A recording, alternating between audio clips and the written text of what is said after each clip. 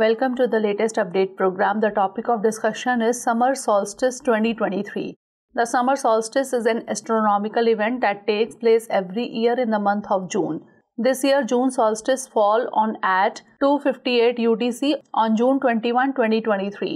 For us in the northern hemisphere, the June solstice marks the shortest nights and longest days of the year. For the southern hemisphere, it marks the longest nights and shortest days.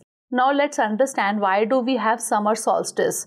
Since Earth rotates on its axis, the northern hemisphere gets more direct sunlight between March and September over the course of a day. The rest of the year, the southern hemisphere gets more sunlight. During the solstice, the Earth's axis is tilted in a way that the north pole is tipped towards the sun and the south pole is away from it. This imaginary axis passes right through the middle of the earth from top to bottom and is always tilted at 23.5 degree with respect to the sun. Therefore, the solstice is that instant in time when the North Pole points more directly toward the sun than at any other time during the year.